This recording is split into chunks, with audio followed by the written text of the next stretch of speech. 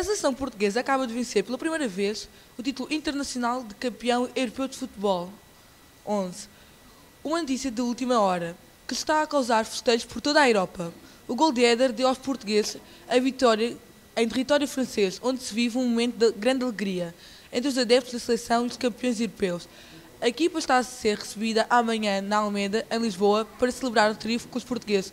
Por agora, continuamos a acompanhar a festa aqui, em direto em Paris. Uh!